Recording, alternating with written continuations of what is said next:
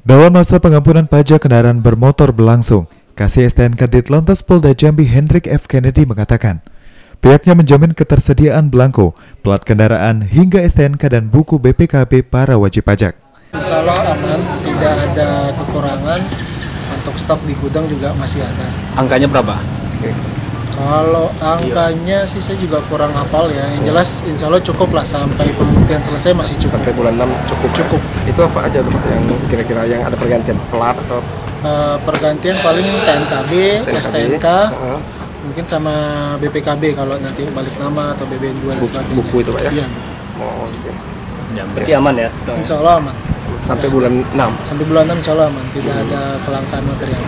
Berarti setelah seandainya orang daftar atau pengurus tuh paling lama berapa waktu renggang waktunya Pak misalnya ganti plat atau ganti buku Kalau ganti plat sehari bisa. Sehari bisa. bisa selama persyaratan dia masukkan pendaftaran persyaratan lengkap Hmm. sehari jadi kalau apa misalnya kayak perpanjangan lima tahun ya, Hmm, ya. sehari bisa jadi.